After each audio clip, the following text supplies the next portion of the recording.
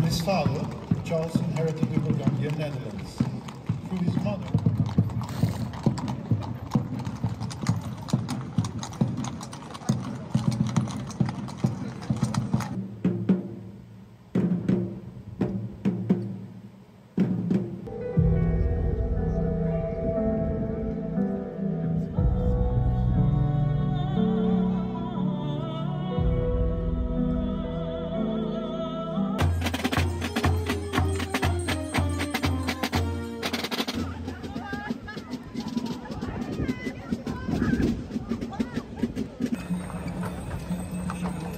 Hallelujah.